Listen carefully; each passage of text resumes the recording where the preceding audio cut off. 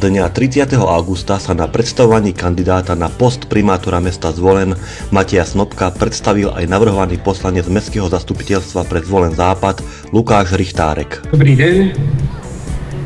Dovolte mi, aby som sa predstavil. Volám sa Lukáš Richtárek. Som človek, ktorý je známy svojim úsmevom a človek, ktorý je známy pozitívnym vnímaním života. Ako člen iniciatívy Zvolen pre ľudí chcem, aby aj sídlisko Západ bolo pre ľudí. Chcem, aby sa tam ľudia mali dobre, aby boli spokojní,